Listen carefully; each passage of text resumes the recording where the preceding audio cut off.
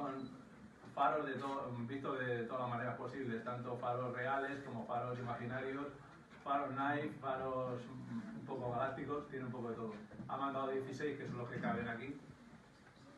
Y él es, nació en la Palma de Gran Canaria en el 74, eh, vivió sus primeros años en Caracas y luego volvió a Canarias y vive en Valle Seco, en Las Palmas.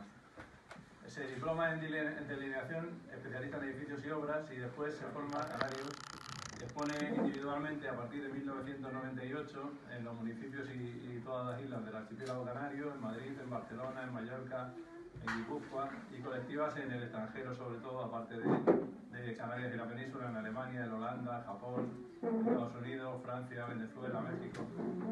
Fundó el colectivo de artistas canarios simbólicos Aurismo, es vicepresidente del colectivo de artistas aruquenses y colabora con las ONGs ADA y Caritas. Cada año presenta una serie eh, de un proyecto y este año ha sido el de, el de Faro Luz y lo combina con poesía, música y pintura. También ilustra cada año un poemario dedicado municipio, a los municipios de Gran Canaria. Su obra es simbólica, algo surrealista y constituye un canto a la naturaleza y a la luz que nos rodea. Y bueno, él no ha podido venir porque eh, lo tenía complicado. Entonces, eh, los representantes seremos Chema, que estará ahí en la, en la exposición y yo.